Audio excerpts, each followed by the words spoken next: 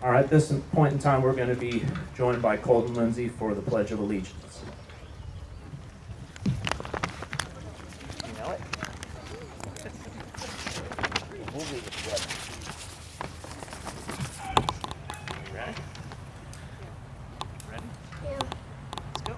I pledge allegiance to the flag of the United States of America and to the republic for which it stands, one nation, under God, indivisible, with liberty and justice for all.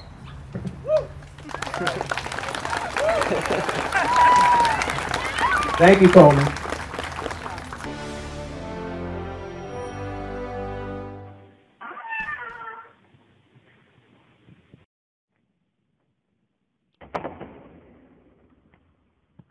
Now we're cooking with gas. Yeah, we are.